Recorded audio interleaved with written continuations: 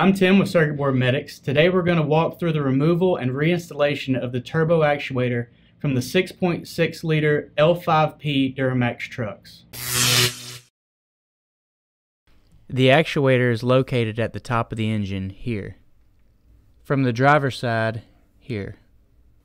You'll start by disconnecting the actuator lever using a 4mm Allen key. For a more detailed view, we're going to show you this process on the bench. When disconnecting the actuator lever, there's a nut in the arm that can fall out. To avoid dropping the nut, we recommend putting a piece of tape on the back side of the arm. Fold the tape on itself to secure it. Using a 10 millimeter socket, remove the four mounting nuts.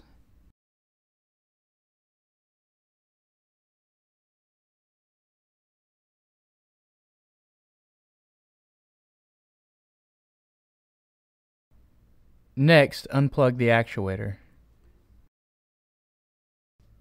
To disconnect the plug, release the locking tab and push down to remove.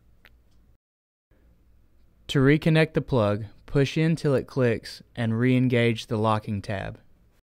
To remove the actuator, hold the arm down and slide the actuator out. The actuator will have to be rotated upwards to remove.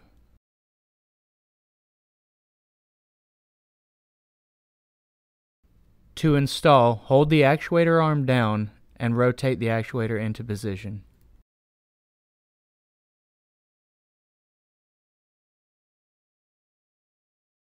Next, install the four mounting nuts.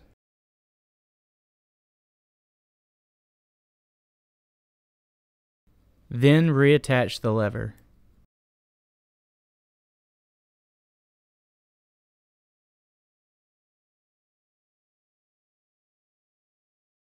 Torque the four mounting nuts to 119 inch-pounds. While holding the actuator arm down, torque the lever bolt to 93 inch-pounds. Reattach the actuator plug. We hope this video has been helpful. If you need a remanufactured turbo actuator, call us at 800 547 2049 or visit our website at circuitboardmedics.com.